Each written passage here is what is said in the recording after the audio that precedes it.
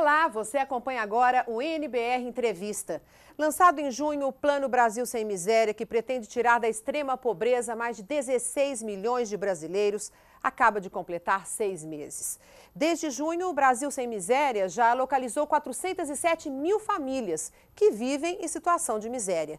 Assim, a busca ativa, estratégia central do plano, atinge mais da metade da meta de localizar 800 mil famílias extremamente pobres até 2013. As famílias foram incluídas no cadastro único de programas sociais. Dessas, 325 mil já estão recebendo o Bolsa Família. Sobre esse assunto, eu converso com Rômulo Paes, secretário executivo do Ministério do Desenvolvimento Social e Combate à Fome. Tudo bem, secretário? Tudo bem, Débora. Um prazer estar com vocês. O prazer é nosso. Muito obrigada pela sua presença.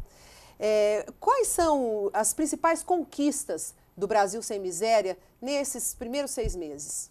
Nós poderíamos resumir em três grandes conquistas. A primeira é justamente a busca ativa, conforme você acaba de citar, nós, tínhamos, eh, nós temos hoje eh, estimados 800 mil famílias que não têm acesso a grande parte dos programas do governo, inclusive o Bolsa Família. Então, nós precisávamos encontrá-las, montamos uma estrutura para isso, tivemos já um resultado muito positivo, como você chamou a atenção. Então, essas famílias passam a ter acesso a um conjunto de programas, a começar do Bolsa Família. Uma segunda estratégia importante é que isso só, é viabiliza, só se realiza se as prefeituras e os governos dos, dos estados participarem. Então, nós fizemos pactuações amplas, envolvendo todos os estados, e já temos, inclusive, é, uma parceria forte com oito, oito estados e o Distrito Federal. Depois eu vou dar mais detalhes sobre isso. Porque é preciso ter uma estrutura poderosa, de modo que a gente possa articular os programas e possa achar as pessoas que justamente necessitam desses programas.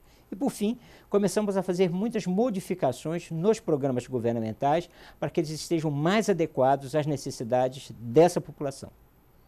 E por que exatamente é, é necessária essa participação de estados e municípios? E qual é o papel deles? Como que eles conseguem ajudar o governo nesse trabalho? De duas formas. Os municípios são quem realiza a política de fato, ou seja, na ponta, na educação, na saúde, na assistência social e mesmo várias ações de inclusão produtiva são feitas nos municípios. Os estados têm um papel fundamental, não apenas na questão da segurança pública, por exemplo, mas também coordenando as ações dos municípios para que nós possamos potencializar as ações desses municípios, para que os municípios, em vez de concorrerem um contra o outro, possam atuar de forma sinérgica, de forma coordenada.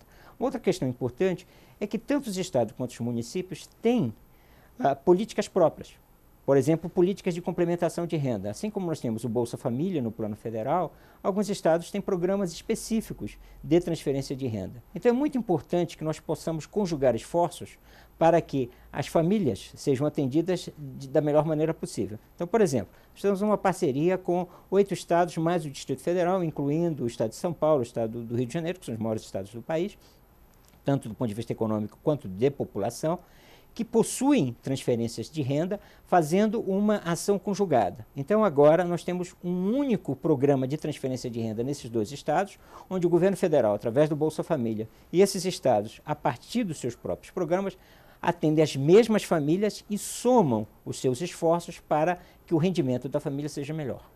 Isso facilita muito, né? Facilita tudo. Facilita tanto a, a, relação dessas famílias com os vários programas, mas também permite que o rendimento da família seja melhor. O senhor citou o Bolsa Família. O que mudou no Bolsa Família? Nós fizemos várias mudanças no Bolsa Família. O primeiro, em relação ao valor da transferência média, que era de 96 reais, agora é de 120 reais, o que melhora a, a, a situação financeira da família.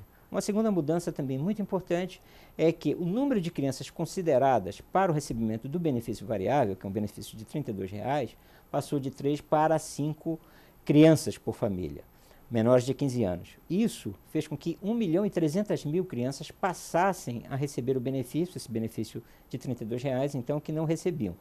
Uma terceira mudança importante é que as gestantes e nutrizes, ou seja, eu estou falando cerca de 93 mil nutrizes, as mulheres que estão em fase de amamentação, portanto, nos primeiros seis meses do, do depois do nascimento da criança, mas 25 mil é, gestantes passem a receber o benefício variável, esse benefício de 32 reais que eu me referi. Por fim, uma mudança importante.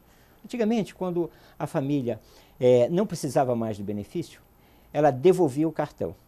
E nós observamos que quando ela devolvia o cartão, depois, se ela, por, por uma situação de desemprego, uma vulnerabilidade, colocasse ela na condição de precisar do benefício novamente, ela ia para o fim da fila e podia esperar meses para receber o benefício de volta. Nós alteramos isso.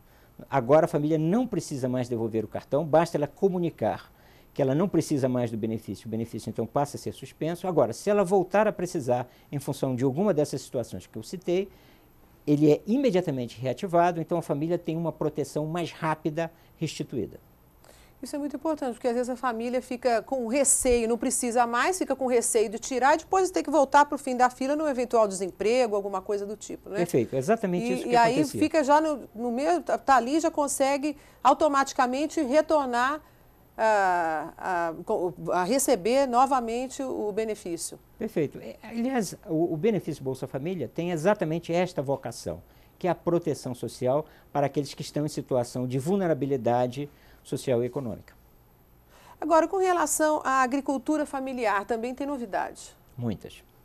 Muitas porque é o seguinte, a situação da condição de vulnerabilidade econômica no campo e na cidade são muito distintos. A forma com que as pessoas se organizam para trabalhar no campo, geralmente é um, a, a, família se organiza para atividade de produção agrícola. E o que, que falta a essas famílias? Em primeiro lugar, tecnologia para a produção. Elas conhecem pouco a, a técnica adequada para produzir numa condição específica, num determinado microclima, numa, num, numa condição ambiental dada.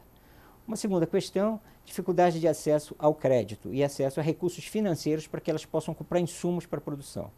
Um outro problema, água, que pode ser um problema muito grande, um problema pelo menos no semiárido brasileiro, cerca de mil municípios brasileiros com um problema grande, mas também envolve outras partes do, do, do país também com problema de acesso à água, que é necessário também para a produção. E, por fim, sementes.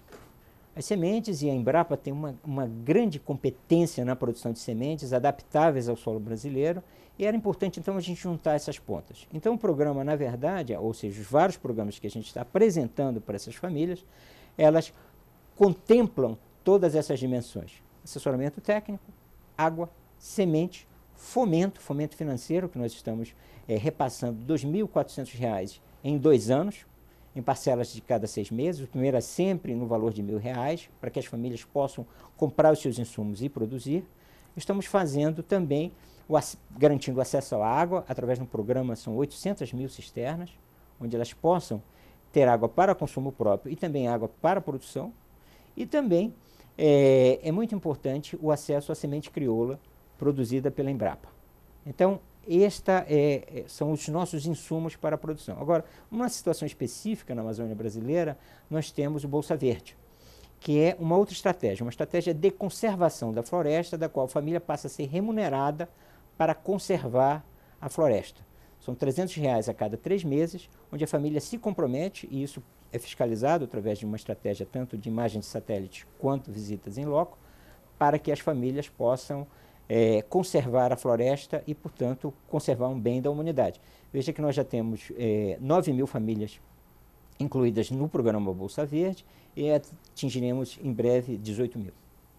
Essas políticas públicas são essenciais para o bom desempenho da, da agricultura familiar, né, secretário? É fundamental, porque muitas famílias ainda têm uma atividade agrícola muito limitada, em função da, da dificuldade de acesso a, a, esses meios de produção e também da tecnologia de produção. Agora, uma outra coisa também que é muito importante é que o papel desse, desse assessoramento técnico é, para atividade é, agrícola, ele também tem que contemplar uma outra dimensão. As famílias têm outras necessidades, como, por exemplo, abastecimento de água, saneamento básico, escola para as crianças, é, atendimento de saúde. Então, portanto, é importante que esse técnico combine tanto a sua competência, a sua capacidade em transferir tecnologia e aconselhar a família como aumentar a produtividade, mas também observe as necessidades da família e encaminhe a família para que a família possa ter acesso aos programas da qual ela tem direito, inclusive.